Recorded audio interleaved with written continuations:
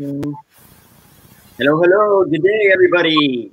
Hope everybody's doing well. My name is Federico Hernandez. I'm super excited to be here with the Rum Lab again at Savvy Network. Savvy.co or Savvy Network. Uh, actually, this is going to be a very special event today. Um, this event is going to be in Spanish and English. I'll be translating, so everybody just have a lot of patience with me. Uh, I do make up words, so hopefully I don't make up that many words. Uh, no, I won't. I'll, I'll try to avoid. As, as long as we're drinking rum, everybody please have a glass of rum, full glass of rum before joining this entire presentation, so you can understand me better. Um, but really quickly today, we're going to be talking about real Spanish rum from España. Um, uh, oh, and I see we have people from different parts, the Dominican Republic, uh, which is great. Uh, really quickly, if this is your first time here, uh, joining chat. To your right, you're gonna see a chat box. I see already people writing comments. This is phenomenal. If you have any questions during the event, at the very bottom of the screen, make sure to put your questions. Uh, we do ask everybody if you can share your screen. If you're watching us right now on through Facebook, come and join us right now. Uh, go to savvy.co uh, so you can participate in the Q&A. Um, today's agenda is going to be 30, 40 minutes. I'll talking about the main presentation.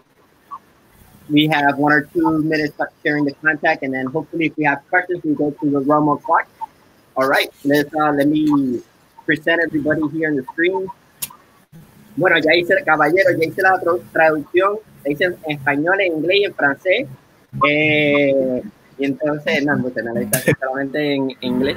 Ahora quiero aprovechar y, y que digan un momentito que digan hola o hello. Hola a todos. Hola, buenas noches a todos. Muy buenas, ¿qué tal?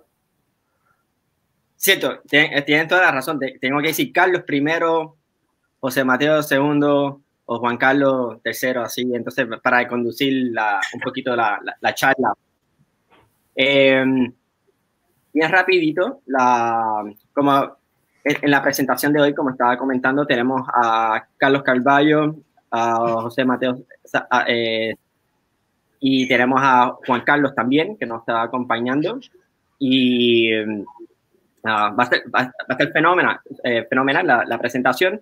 Our guests are Carlos. Uh, we have Jose Mateos and Juan Carlos. Uh, I think this presentation is going to be phenomenal.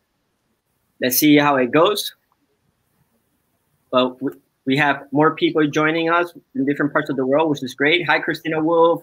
Thank you for always. Christina, I know you speak like 20 languages, so I'm pretty sure yeah, you're completely set. Uh, Daniela and um, John Atkins always uh, for joining us uh, in our presentation. All right, so let's deep dive a little bit and go into today's presentation. Um,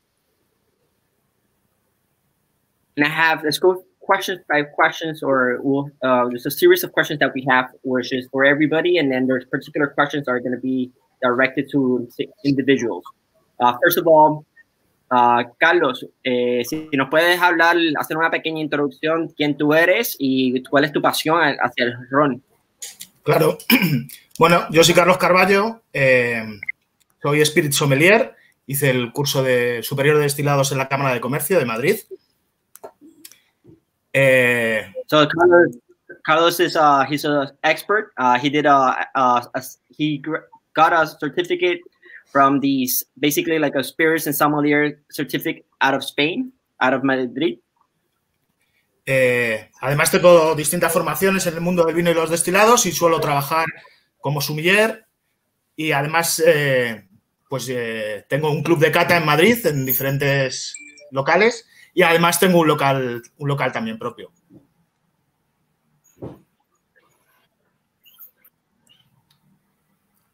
Creo que hemos perdido a Fede. Sí. Ahora. ¿Cómo fue?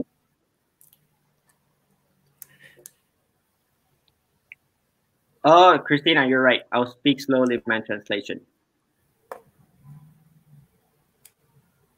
Eh, uh, Carlos, ¿me, ¿me escuchas? Te escucho ahora.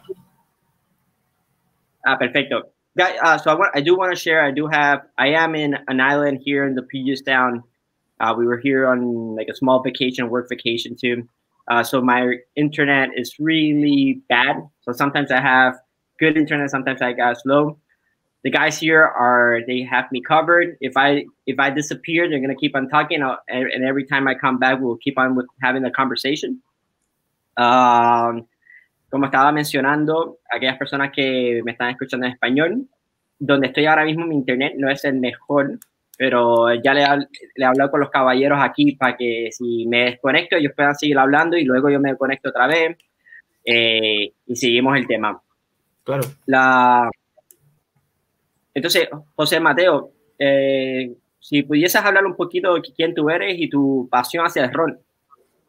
Pues mi nombre es José Mateo, eh, estoy junto con Elisa. En el año 2016 iniciamos un viaje fascinante que hoy por hoy se llama Ron Santarén y es la creación de una marca de ron especiado que a día de hoy tenemos tres, variedades, tres productos diferentes, una crema, eh, un ron especiado que es nuestro Solera 12 Blender y un, y, un, y el, mismo producto pero terminado en barricas de Medellín y junto con Elisa comenzamos este viaje y hasta el día de hoy, luchando, peleando y, y, fascinado del mundo del ron. Yo eh, no vengo del mundo del destilado, eh, a mí me trajo al mundo del ron, me, trajo, me trajeron las especias. Eh, yo empezamos a hacer pruebas en varios destilados de especias y el ron vimos que era el mejor producto para macerar las especias. Y, mi amor del ron me lo trajo, me lo trajo las especias. So, uh, José, José, eh, acabas de decir en 2016 empezó, ¿verdad? Sí. Sí. So in, in 2016, uh, in the summer of 2016, Carlos and Elisa, which are they're both partners in this platform, or they created, they went on a summer vacation, and um, and they they were able to create, or they fell or got introduced to rum, and uh, they fell in love with this adventure, they were actually looking for different types of species, uh, spices uh, that they could uh, uh blend, and it just became uh, the development of Ron Santarén, which they have three expressions right now, which we'll talk a little bit later. But if I'm not mistaken, he mentioned a cream, a spice, and a and a blended rum, and they're from different parts of the world, but including um, he'll he'll he'll talk more later about it. Um, Juan Carlos, háblame un poquito de ti, este y tu pasión hacia el ron. Muy bien, pues yo soy Juan Carlos Manzano. Muchas gracias por la invitación a, a los tres. Bueno, y a Lisa que también que tampoco está, pero bueno, pues yo soy eh, lo que os digo. Yo llevo en hostelería desde, desde hace muchísimos años, más de 30 años. Eh, durante 25 años he sido propietario de mi, local, era un costel bar, y desde siempre he estado vinculado pues, tanto a la costelería como a los destilados. ¿vale? En, los últimos, en los últimos años, todo mi foco está puesto en la formación y el asesoramiento. ¿vale? Mm, como a destacar, pues desde hace cinco años soy profesor, digamos, el tutor del curso superior de destilados de la Cámara de Comercio de Madrid, pero aparte colaboro con otras escuelas y, y bueno, pues otras escuelas y empresas. Y nada, mi pasión... ¿En qué abriste? ¿Desde cuántos años llevas con la barra? Eh, con la barra llevo desde el año, si mal no recuerdo, desde el año 1986 o por ahí. ¿Vale? Yo, yo es que tengo unos cuantos años, ¿no? pero vamos, mi local lo abrí, mi local lo abrí a finales de 1994 y lo cerré en octubre del 18. Lo cerré. Understood. Pero, lo voy a decir un momentito en inglés. Eh, en inglés. And so Juan Carlos, uh, which I, I understood a little while ago in our previous conversation, he's from Sevilla.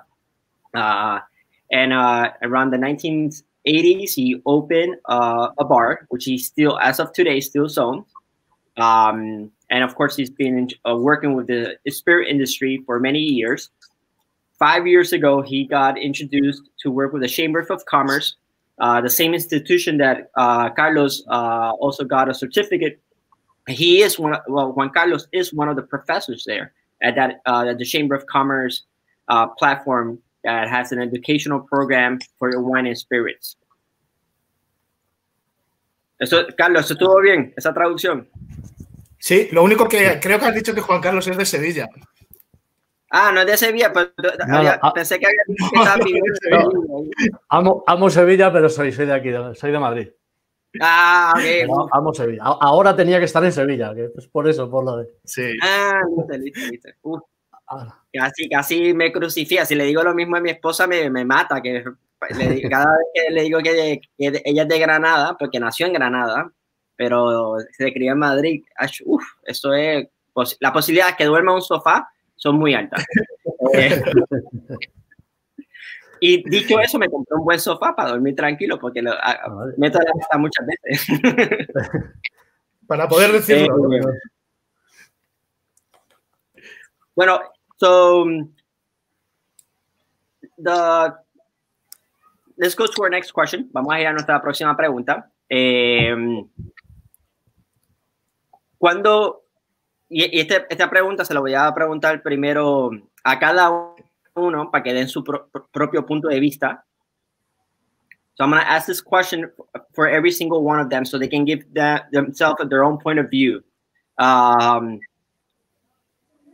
Carlos, let's start with you. What, when do you think, cuando tú piensas que España se enamoró del ron, ¿verdad? De beber o consumir ron. Hmm. So, so really quickly, the question is, when Carlos believed in Spain, there was an, uh, a passion of drinking and consuming rum. When did that start? Eh, como siempre, no, hay una sola respuesta para, este tipo de preguntas. Creo que es una evolución. Eh, probablemente los años 70 fue un momento de boom absoluto del consumo de ron en España. Y a partir de ahí lo que ha ido pasando es que la gente ha empezado a beber de otra manera y eso es aplicable a casi todas las bebidas. Se bebe más calidad y menos cantidad. Entonces, creo que en los 70 es un boom y progresivamente se ha ido mejorando la calidad. Ok. So, uh, so Carlos, ¿tú crees que, en otras palabras, eh, ha sido una, una, evolución completa, sí, sí. Pero no, pero no hay un momento claro eh, cuando empezó. ¿Tú crees este, este, este movimiento a, consumir ron? O sea, por cifras podríamos hablar de, de rones que se venden, que, eh, se consumen en distintos sectores.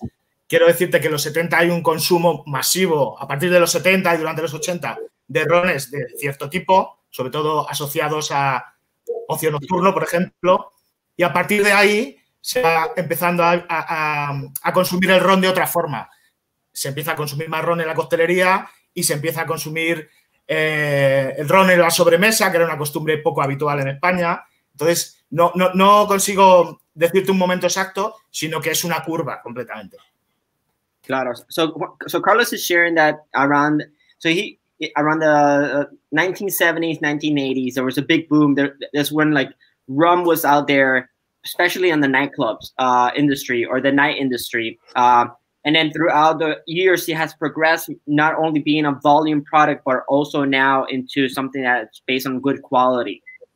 Um, so, José Mateo, ¿qué, ¿cuál es tu opinión? ¿Qué, eh, en este tiempo que, que, eres bastante nuevo a la, a la industria del ron, eh, -huh. pero me imagino que has estudiado mucho y tú vives en otra área, ¿verdad? Tú, estás, where, where, are you based out of?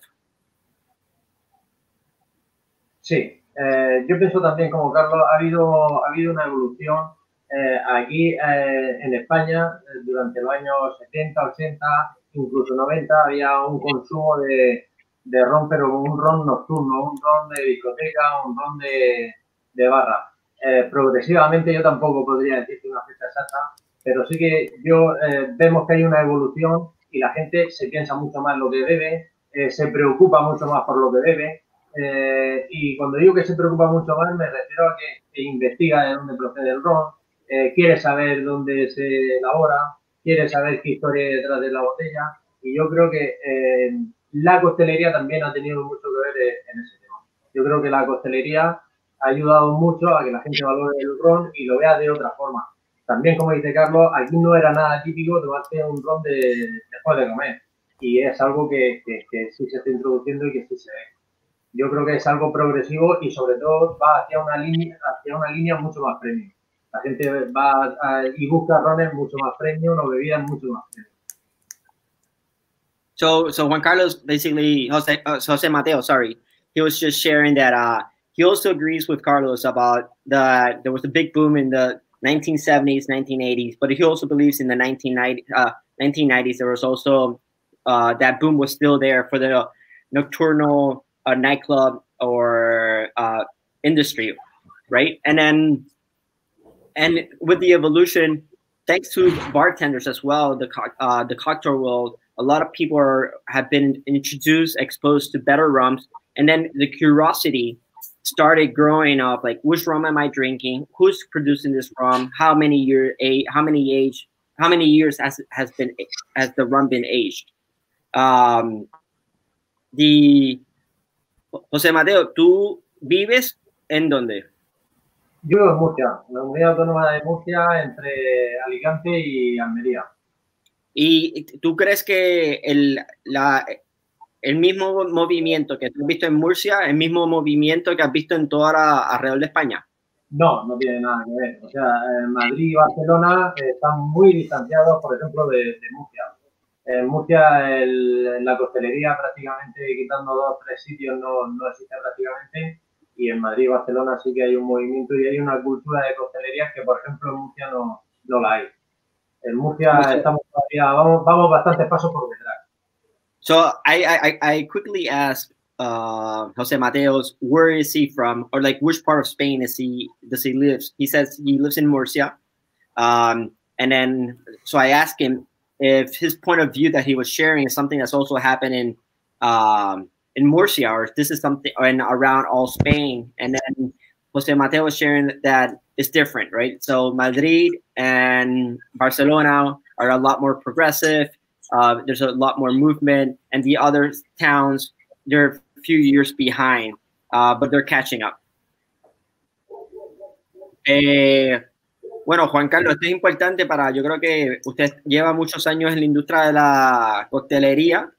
Eh, incluso creo que abriste el día que yo nací. No, no, no.